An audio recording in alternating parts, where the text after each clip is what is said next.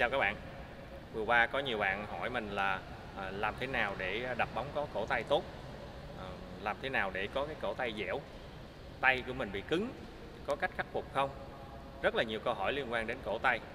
Chính vì vậy, Hôm nay mình sẽ làm một cái video chia sẻ một số bài tập Để các bạn có được cái cổ tay dẻo. Nhưng cái cổ tay dẻo không thì vẫn chưa đủ nha các bạn.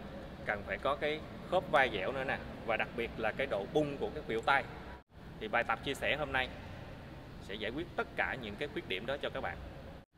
Rồi, trước khi à, vào tập luyện các bạn à, nhớ khởi động kỹ nha. Tập luyện với tạ mà các bạn khởi động không kỹ là rất là dễ bị chấn thương đặc biệt à, là bị đau khớp nha các bạn. Trọng lượng của cái tạ là 11 kg thì tùy theo sức khỏe của mỗi người mà chúng ta có thể tăng hoặc giảm cái trọng lượng nha. Nếu như các bạn nào mà không có điều kiện để mua cái đòn tạ thế này thì các bạn có thể dùng xi măng á chúng ta đổ thành hai cái cục tạ ra, gắn vào cái cây, thì chúng ta tập luyện vẫn ok nhé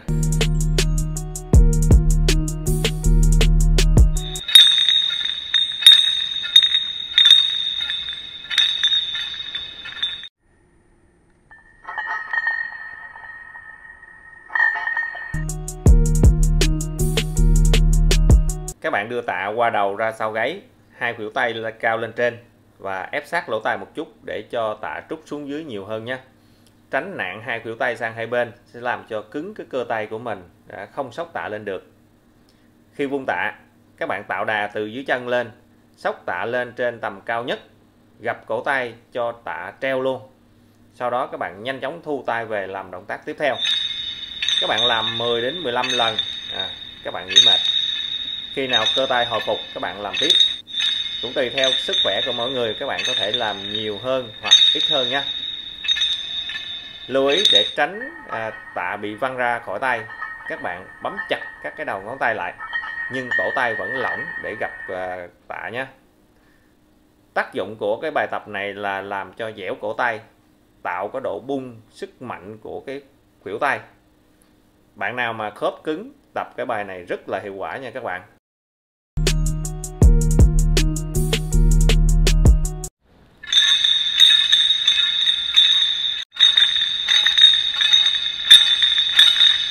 Cách tập luyện của động tác ờ, đẩy, giật, tạ trước ngực.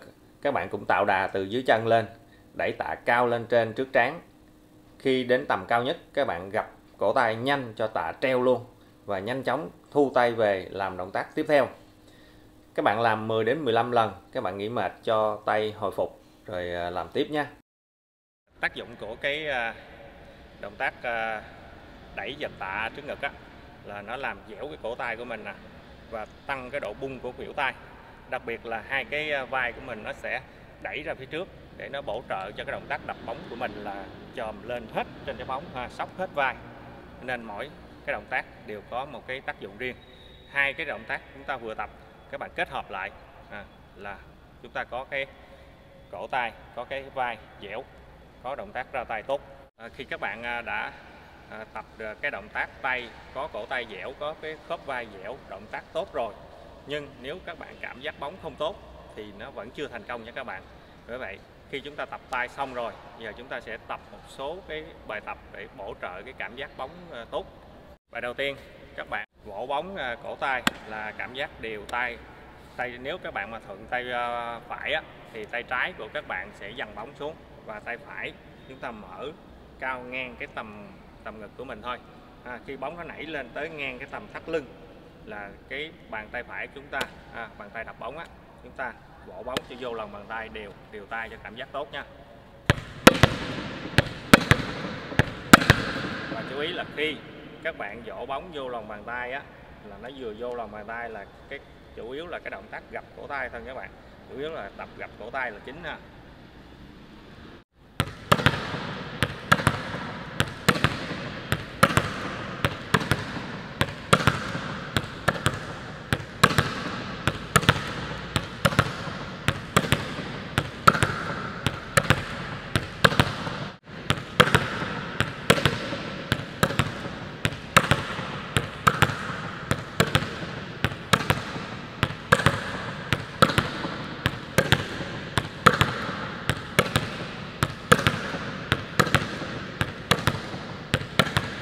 Khi các bạn à, cảm giác à, bóng tốt rồi thì bây giờ chúng ta tập tăng cái lực à, dỗ cổ tay mình lên cũng giống như cái bài cảm giác bóng trước á.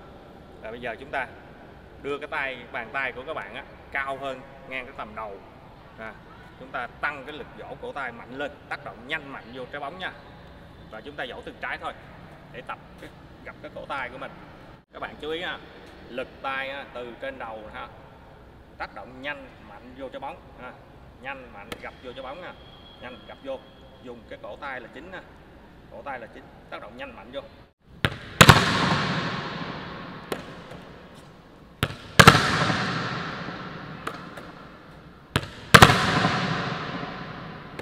Rồi sau khi các bạn à, tập cái à, động tác mở cái tay cao trên à, đầu mà vỗ bóng tốt rồi, bây giờ chúng ta sẽ bài cuối cùng là hoàn thiện cái động tác chúng ta mở vai và à, vỗ bóng gặp cổ tay, cái tầm cao nhất, ha. Tầm cao nhất mà vẫn gặp tốt. Thì các bạn có thể tập với à, hai người, vỗ qua vỗ lại, hoặc là tập với tường. Vâng, cái bài cuối này là hoàn thiện cái động tác thì các bạn sóc tay, ha. Sóc tay lên trên cái bóng hết, gặp cổ tay tốc độ nhanh, ha. và chủ yếu là cổ tay là nhiều cho nên gặp gặp cái cổ tay hết hết vô, gặp siết cái cổ tay vô để mình tập cái cổ tay của mình nha.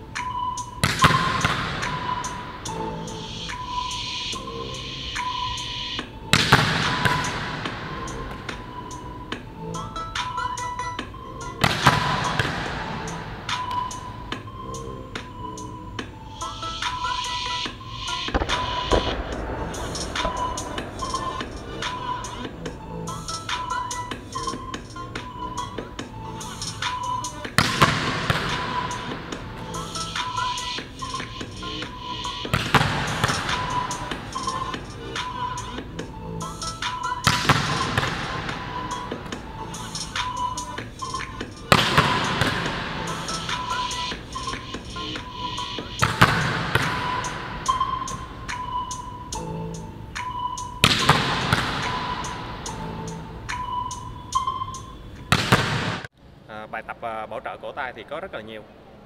À, video hôm nay mình chia sẻ một số bài tập với hy vọng có thể giúp ích cho những bạn có cái cổ tay chưa tốt à, có thể à, tự tập luyện tự khắc phục cái à, khuyết điểm của mình. Nếu à, các bạn thấy video có hữu ích thì à, hãy nhấn like và đăng ký kênh để xem tiếp những cái à, kỹ thuật sau nhé.